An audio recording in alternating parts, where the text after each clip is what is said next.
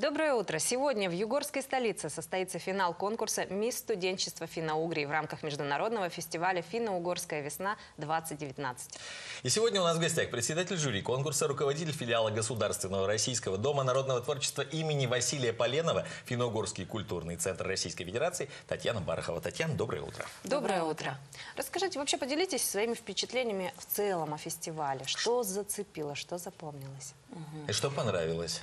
Но мы говорим сейчас о фестивале финно-угорские Да. встречи Конечно, в Югре, финно-угорские правильно? встречи в Югре. Потому что вот он как из таких очень... Финно-Угорская весна его еще Да, да, да, называют. да. То есть он из таких очень двух больших, таких масштабных блоков состоит. Да. Первый такой очень э, деловая программа, это круглые столы, пленарные заседания. Вот. И, конечно же, они прошли на очень высоком уровне, таком, э, в, скажем так, научном, образовательном, культурном. Э, очень интересные доклады были на секциях от студентов. Так. Вот, потому что все-таки тема молодежь, будущее, образование молодежи, понимание важности у молодежи э, развития своих родных языков, Сохранение. культурных традиций, И вот им эти сохранения. направления интересны, вот Интересны. честно. Интересны. Вот Глаза горят у них? глаза горят. Да. Ну, слава богу. Вот именно то что. И они такие темы затрагивают, которые даже нам, взрослым, э, казалось бы, сложные, а они так ее преподносят в своих работах как-то очень легко, креативно, с использованием, конечно же, интернет, Ну, технологий. приведите пример какой-нибудь. Вот, э, ну, например, пример. Удмуртский государственный университет, Так.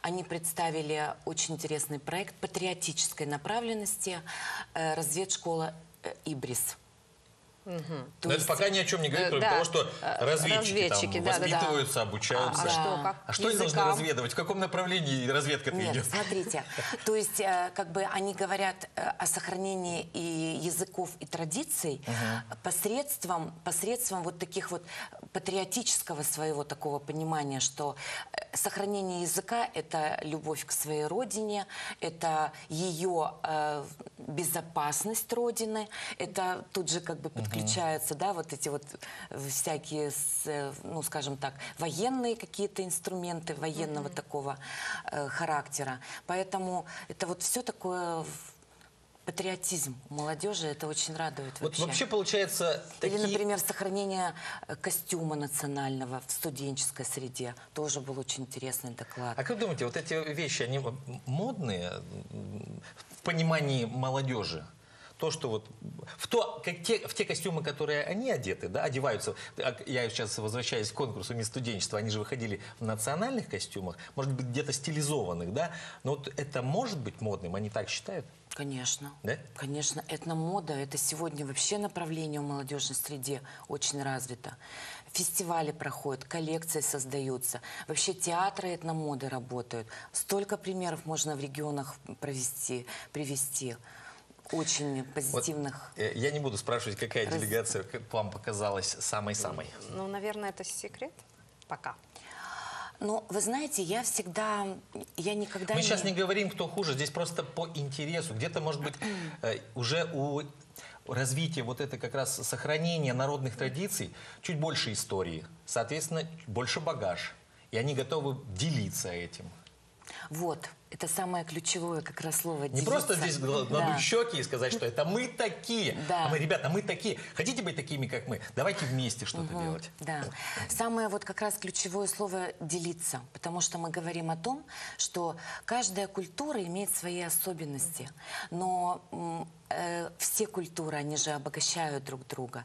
И вот сегодня, когда девушки привезли э, свое э, умение, да, умение предоставить, представить традиции, языковые особенности своих народов, такая атмосфера царит в подготовке вообще конкурса, что они действительно представляя, э, представляя, делают это все вместе, понимая, что, э, что они живут в одной стране. И это необычный конкурс красоты, в общем-то, да? Ведь это или не совсем красоты, это красоты и любви к своим корням. Да, да, да, да. Вот теперь давайте Да. поговорим об участницах конкурса. Вы уже как бы имеете представление, что из себя представляют девушки? Ну, конечно. Вчера состоялось первое испытание, это была пресс-конференция с девушками. Насколько достойно они ее выдержали? Они И выдержали... вообще, вот пресс-конференция, готовы ли они были к ней? Были готовы. И какова суть Потому вопроса? что они Была вообще... журналистов. Да, да. Вот.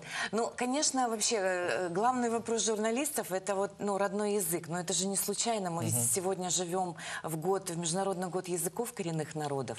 И, в общем-то, все мероприятия, в том числе вот эти вот важные мероприятия в Ханты-Мансийске, они э, идут под эгидой этого м, Да-да-да. Года вообще языков. смысла, скажем так, важного. Поэтому первый вопрос у журналистов был, конечно же, девушки. Что такое для вас родной язык? Как вы относитесь к его сохранению? Говорите ли вы на своем родном языке? Вот. Ну и, и девушки показали подготовленность вообще к конкурсу, к этому проекту. Вот. Конечно, первое испытание, оно всегда самое волнительное. Вот.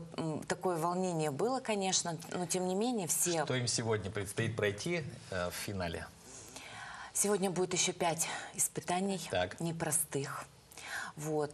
И поэтому это и мы- для нас, для жюри тоже волнительно. Это будет и, значит, это будет опять же и видеоконкурс представление, значит, э, культуры своего народа. Это будет выход в национальном этническом костюме с каким-то обрядовым предметом. Вот. Это будет, конечно же, и конкурс талантов, когда девушка либо споет, либо представит хореографическую Так. композицию, либо какое-то другое вообще жанровое да, исполнение, вот, представляющее культуру ее народа. Вот. И, конечно же, это будет... э, Конечно же, это будет еще и представление такое на... национальном языке. Да, что-то. обязательно, Вы так вот сейчас обязательно. рассказывали в предвкушении. То есть вы, я думаю, ну, все члены жюри потирают руки. Думаю, скорее бы, скорее бы. Финал, кстати, финал сегодня пройдет в концертно-театральном центре Югра Классик в 18.00, куда мы вас всех и приглашаем. Татьяна, большое вам спасибо. Спасибо. Мы желаем Да. вам отличного дня, прекрасного настроения, чтобы Спасибо и этот большое. день в Ханты-Мансийске вам тоже ос- особенно запомнился. Это счастливая финно-угорская весна.